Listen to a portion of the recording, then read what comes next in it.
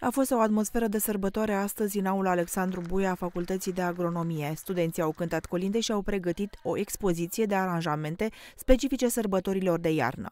Banii strânși vor ajunge la un tânăr care învață la un liceu din județ.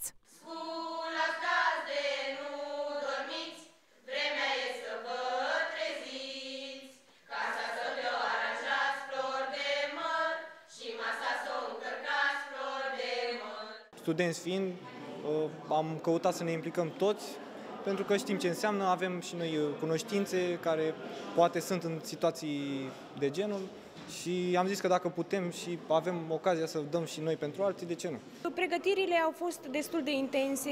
Ne-am pregătit pentru corul facultății și întreg evenimentul timp de două luni, iar în jur de 3-4 zile am stat în facultate până la 9 jumătate seara, inclusiv, pentru a organiza decorațiunile. Este deja tradiție ca în fiecare an la Facultatea de Agronomie să se organizeze câte un eveniment caritabil. Este un eveniment uh, deosebit de important pentru Facultatea de Agronomie. Uh, este puțin dificil, într-adevăr, este foarte multă muncă, dar uh, facem totul cu mult drag. Ne aflăm la 11-a ediție a evenimentului Natura Dăruiește.